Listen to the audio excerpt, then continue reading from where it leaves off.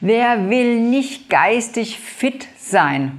Also ich auf jeden Fall, aber ich weiß auch, ähm, dass es geht, denn körperlich fit heißt im Umkehrschluss auch geistig fit. Und darüber rede ich heute, weil es gibt ganz viele spannende Erkenntnisse und die möchte ich dir nicht vorenthalten. Noch heute wird der Begriff der ganzheitlichen Gesundheit oder der ganzheitlichen Medizin von vielen Therapeuten belächelt und von ganz vielen Patienten auch nicht wirklich ernst genommen. Nur selten wird er konkret im Übrigen mit Inhalten gefüllt, dieser Begriff der ganzheitlichen Gesundheit.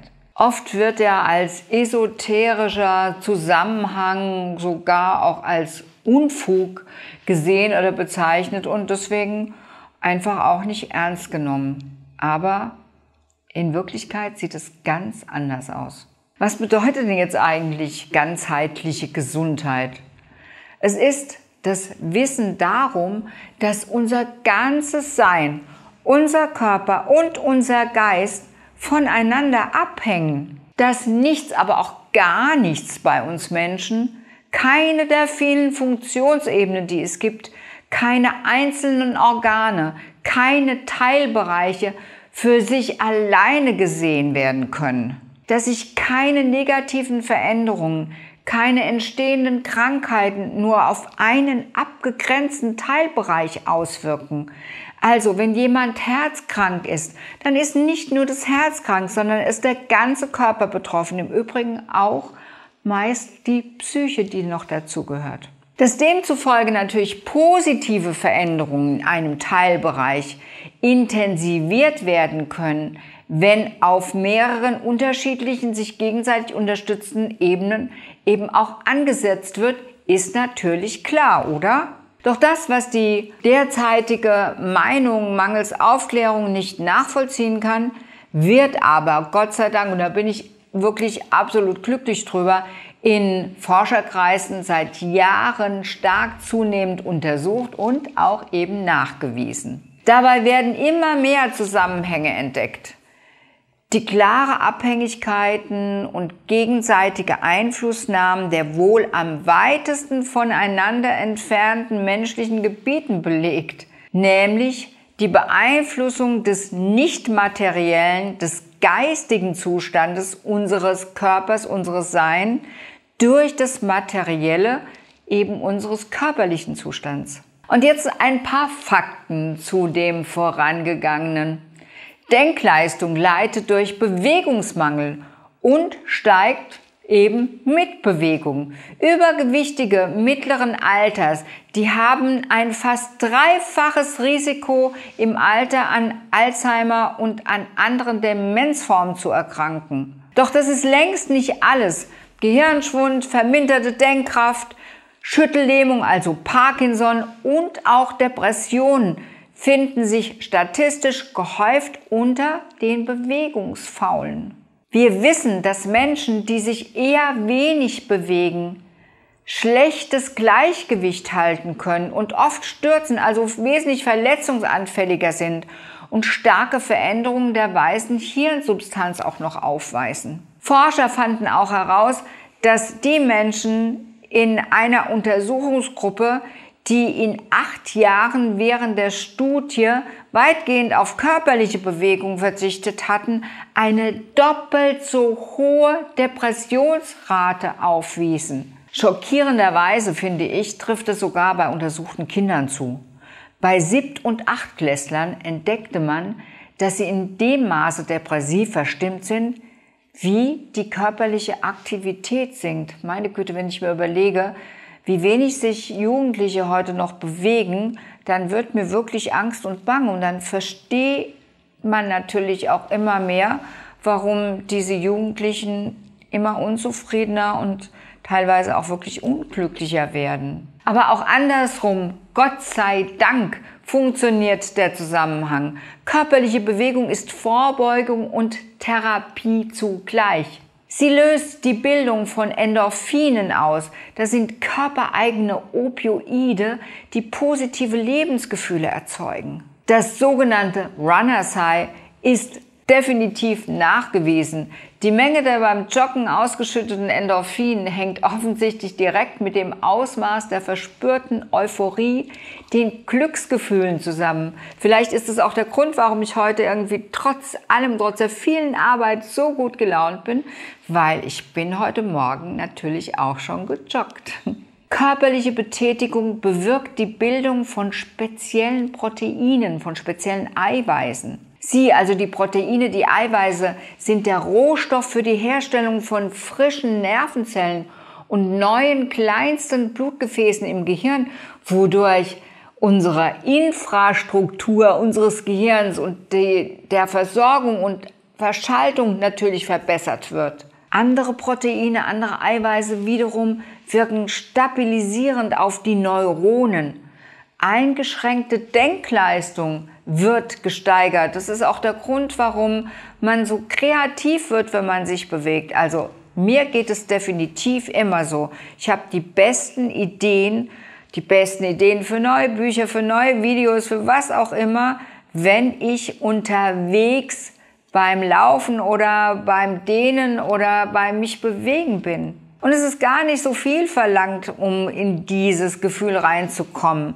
Schon dreimal pro Woche 15-minütige körperliche Bewegung wird die Wahrscheinlichkeit im Übrigen an Alzheimer zu erkranken um 30 bis 40 Prozent reduzieren. Molekularbiologen gehen inzwischen davon aus, dass man durch Muskelsignale die Stimmung tatsächlich auch dauerhaft beeinflussen kann. Wenn ich mir überlege, wie diese ganzen Stimmungskrankheiten zunehmen, also angefangen von, von leichten Angstzuständen, von depressiven Verstimmungen, von Überforderungssymptomatik, dann denke ich einfach, Gott, wie leicht könnte es denn sein?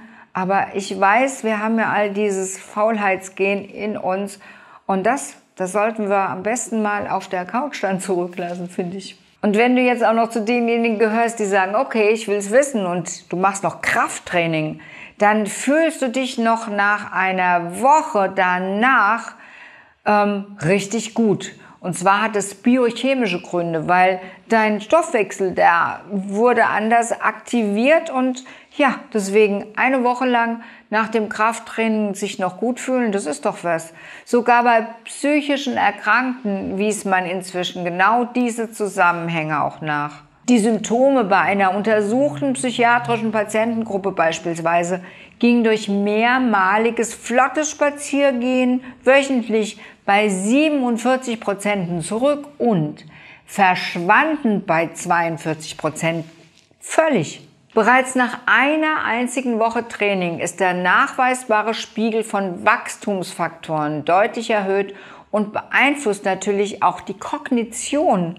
Das heißt also, wenn wir die Wachstumsfaktoren aktivieren, also auch die Wachstumshormone, dann regeneriert der Körper, der kann heilen und all das tun wir durch Training.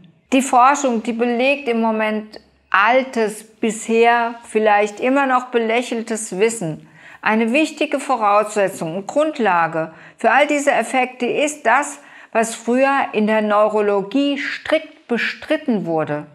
Eine erhöhte Durchblutung des Gehirns. Man ging nämlich ewig lange davon aus, dass das Gehirn als überlebenswichtigstes Organ durch einen Automatismus immer gleichbleibend durchblutet wird dass damit nämlich sein Stoffwechsel also konstant sei. Irrtum.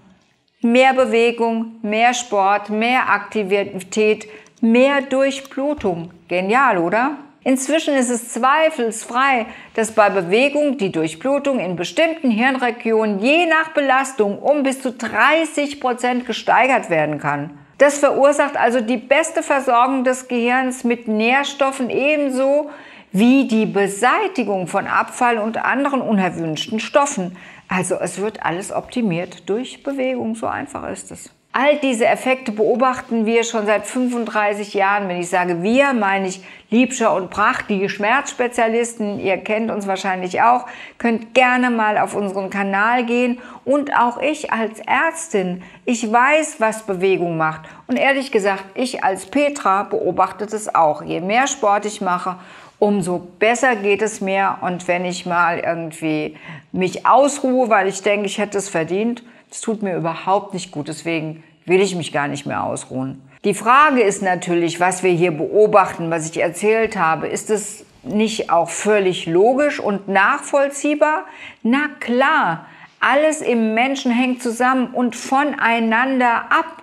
Wir haben uns seit je nachdem, ab welchem Zeitpunkt man mit diesen Überlegungen ansetzen möchte, Millionen von Jahren entwickelt und uns eben an ganz bestimmte Bewegungsanforderungen unserer Umwelt angepasst. Diese Anforderungen, die haben uns geformt, den Bewegungsapparat wie alles andere, unser körperliches und auch unser geistiges Leistungsvermögen und die dazugehörigen Zustände.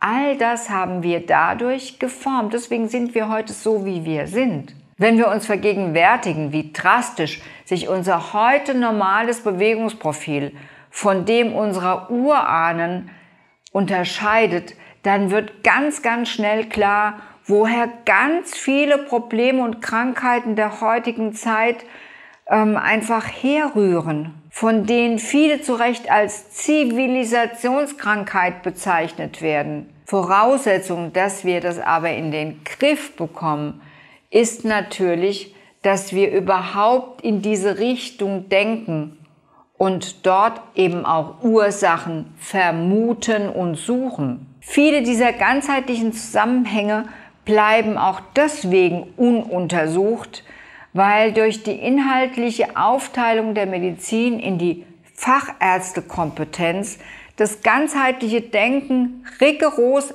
aberzogen wurde und meines Erachtens immer noch aberzogen wird. Und das ist falsch und verkehrt und führt zu vermehrten Krankheiten, definitiv. Das soll überhaupt nicht heißen, dass wir nicht auch Spezialisten bräuchten. Sie sind so wichtig, gerade um spezifische Untersuchungen zu machen. Und dazu ähm, ist die Fokussierung auf spezielles Wissen einfach absolut nötig. Aber das, was fehlt, ist die anschließende Zusammenführung des medizinischen Allgemeinwissens, des Facharztwissens sowie die naturheilkundlichen Hintergründe in einen Pool, aus dem dann die passende, bestmögliche Therapie hervorgehen kann. Aber genau diese Zusammenführung wird heute oft durch Kompetenzgerangel und Frontenbildung geradezu kategorisch verhindert. Auf Kosten von wem? Auf Kosten des Patienten. Und gerade deswegen ist es unumgänglich, dass eine neue Therapeutengeneration entsteht. Therapeuten, die sich in der Schulmedizin ebenso sicher bewegen wie auch in der Naturheilkunde, die einen Gesamtüberblick über die zur Verfügung stehenden therapeutischen Maßnahmen haben und dann als Hauptverantwortliche die Maßnahmen verteilen und die Entwicklung dementsprechend dann auch begleiten und auch kontrollieren. Hier geht es weit über einen allgemeinen Zusammenhang zwischen Körper und Geist hinaus. Die Bewegung ist ein ernstzunehmendes natürliches Therapiesystem und ein ebenso wichtiger Faktor ist auch eine bewusste, gesunde Ernährung natürlich. Die Einflüsse insgesamt, die erstrecken sich dabei natürlich nicht nur auf das Gehirn, was natürlich auch sofort einleuchtet, sondern auf all unsere Funktionsebenen des Menschen, gemäß der ganzheitlichen Zusammenhänge, die ja alles erfassen, was im Menschen vor sich geht. Egal, um was es sich in uns handelt, um den skeletären Apparat, also die Knochen, um die Muskeln, also den gesamten Bewegungsapparat, ob es sich um unser Atemsystem handelt, um unseren ähm, Verdauungstrakt, um das Herz-Kreislauf-System, das Nervensystem, das Entgiftungs- und Ausleitungssystem, das Immunsystem, das Hormonsystem. Alles gehört zusammen und beeinflusst sich gegenseitig. Es gibt keinen Bereich, der nicht davon profitiert.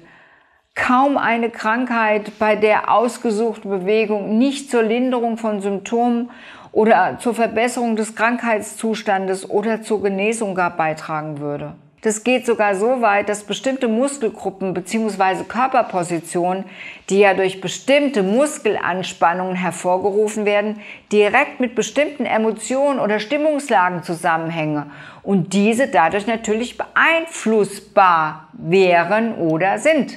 Angst oder Furcht oder auch depressive Verstimmung ist fest mit einer bestimmten Schulter-Hals-Position verbunden. Die Schultern sind angehoben und einwärts rotiert.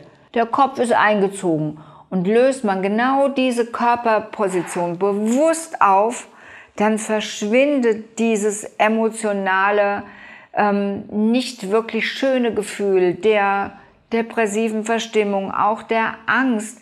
Man muss es nur wirklich tun. Und allein diese Haltung wieder einzunehmen, verbessert augenblicklich die Stimmungslage. Ebenso fest verknüpft sind gute und schlechte Laune mit der Gesichtsmuskulatur, die die Mimik von uns formt. Das kannst du dir nicht gut vorstellen? Dann mach doch einfach mal folgenden Versuch. Öffne deinen Mund so weit es geht, also richtig groß den Mund aufmachen und behalte diese Position, wenn es irgendwie geht, für zwei Minuten bei. Wem das schwerfällt, den Mund zwei Minuten offen zu halten, kann die geöffnete Kieferstellung mit den Händen unterstützen. Oder aber einen Weinkorken oder auch unseren Kieferretter benutzen, der dann zwischen die beiden Zahnreihen geklemmt wird. Ähm, Infos zu unserem Kieferretter findest du im Übrigen hier oben. Wenn du das geschafft hast, also die zwei Minuten den Mund zu öffnen, dann bewegst du deinen Unterkiefer ein wenig hin und her, um die normale Beweglichkeit einfach wieder zu erreichen. Und du wirst feststellen, dass du automatisch lächelst und dass es fast unmöglich ist, dann auch noch grimmig oder aggressiv auszusehen. Und du wirst es spüren. Du fühlst dich einfach besser. Deine Stimmung ist positiver, denn die jetzt entspannten Muskeln lösen die entsprechende freundlichen Emotionen aus, die man braucht, damit es einem gut geht und man Glücksgefühle auch bekommen kann. Also, Fazit, ohne Bewegung gibt es eigentlich kein freudiges Leben und glückliches Leben. Nochmal, lass diesen eingebauten Faulpelz am besten zu Hause und zwar im Bett oder auf der Couch liegen. Und beweg dich in hoher Qualität und in perfekter Quantität. Und wie genau das ausschaut, das findest du auf unserem Kanal ähm, der Schmerzspezialisten. Hier ist der Link dazu. Und noch was. Die von dir investierte Zeit um dich zu Bewegung bekommst du als Belohnung in Form eines gesünderen und glücklicheren Lebens mehrfach zurück. Also, es lohnt sich ganz sicher. Und zwar nicht nur, dass du geistig und körperlich fit bist, sondern dass einfach du insgesamt auch noch glücklicher bist. Und das wünsche ich dir. Danke, danke fürs Zuschauen. Ich weiß, es war ein langes Video, aber ich wollte dieses Thema einfach mal ausführlich besprechen. Vielleicht magst du es teilen, würde mich freuen. Vielleicht magst du mir auch den Daumen nach oben schenken. Vielleicht abonnierst du auch meinen Kanal. Das freut mich natürlich sehr. Und wenn du noch mehr von meinen Videos sehen möchtest, dann kannst du das hier tun. Und bis zum nächsten Mal wünsche ich dir, dass du gesund bist glücklich und in die Bewegung gekommen bist. Ciao!